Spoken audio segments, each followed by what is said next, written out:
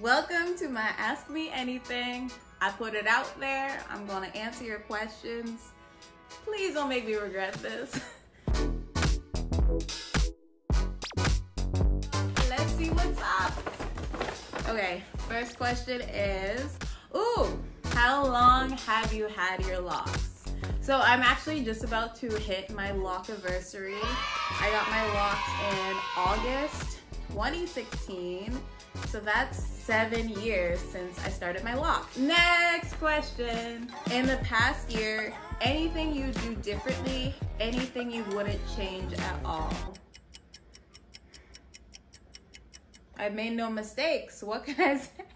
oh, lies. I wish I started this YouTube journey sooner. It would have been amazing to document more of that first eight months of me being fun employed. It was like an extended staycation exploration time as an artist and creative. I honestly enjoyed that time more than my traveling experience. It's funny, since I left my job way more than a year ago. It doesn't encompass my process of leaving, but I do want to speak to that. The willingness to walk away is just such powerful high leverage. So I wish I exercised that to the maximum, explicitly asked for what I wanted, just to give them the opportunity to say no. I spent over $1,500 on a job application process and I didn't even get an offer. So like there's been mess. Don't get me wrong. It's not like I'm living a perfect drama-free life. But even those experiences, there's such value. The people I've met this throughout my life and journey, I wouldn't risk changing things and risk not meeting them. Next question.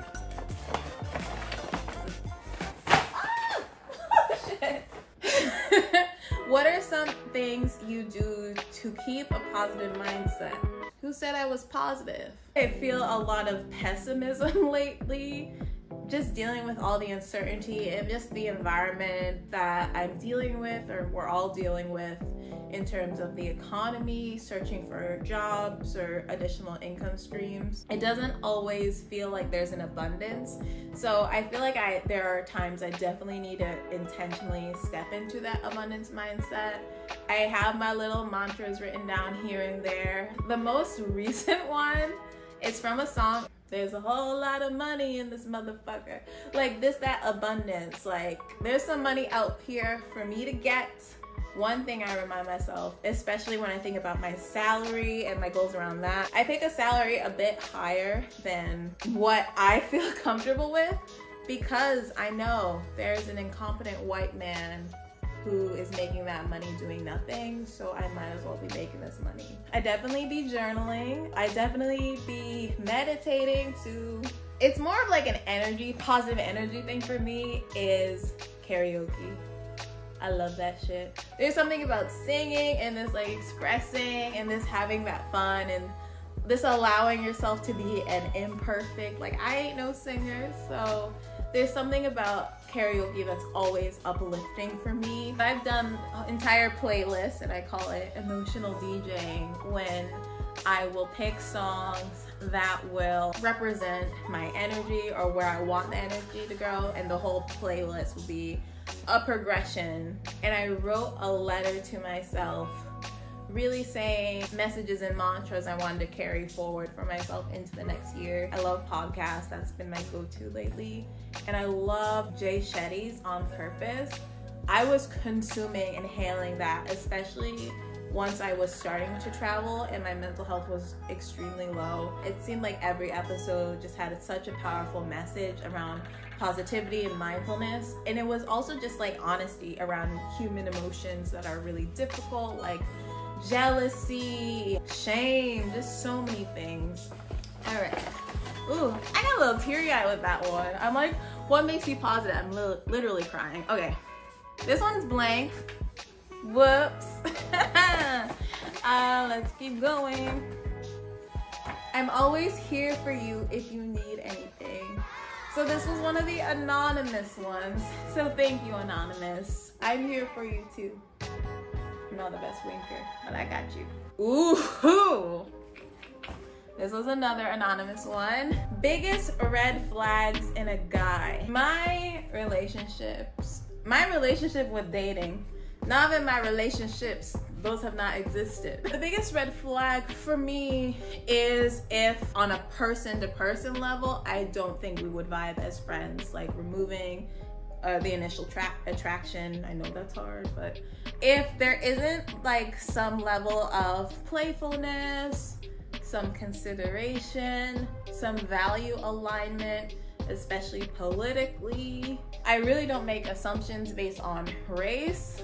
But I am very cautious, especially if you elect to not put your political affiliation on your profile, I'm gonna expect it's not the same as mine. I was listening to the podcast We Can Do Hard Things, and Logan Ury was on it, and she mentioned with dating, people have this tendency to hide themselves and then slowly reveal themselves, but it's actually the opposite of what you want. You want to have your deal breakers that might be a deal breaker for someone else right out in the forefront so you ain't wasting your time with people who aren't your people. And I love books on dating, I've read many of them. And also, I'm like chronically single, so hit me up. Why you so fine? like I said, hit me up. Oh, this? This is anonymous. I literally have no idea who asked this. Why they want to know my pain like this? Ever cried at school? Definitely. I'm assuming they mean like K through 12, but I was definitely chronically crying through college. The only thing that's coming to mind was an after school situation, and uh, am I really gonna share this story? Uh, I was on the track and field team. At one point, I had to go to the bathroom, and I asked my coach if I could go, and he was like, "After the 600." Oh, this story. Why did I tell it? Um, so I ran the 600, and then I went to the bathroom afterwards, but I had already gone, y'all. And yes, I was like a teenager at the time. Uh, I knew how to hold my bowels. I, it's just hard to hold your peeing while you're running, basically sprinting almost half a mile. But anyway, so I went to the bathroom, saw what happened, and then I was like, shit, I gotta go home. And my my track coach wanted me to stay after our sprints to do some jumping because he thought I would be a good high jumper. So I was waiting for my mom to pick me up. And while I was waiting for my mom to pick me up, he came, my coach came in and he just laid it on me. He was yelling at me, saying I'm not committed, and I cried. Who asked this? Why are we talking about black tears? Don't we have enough of that in media? I'm done with this question. I'm done. Um, okay. You a homie. Thank you, Anonymous. You are too.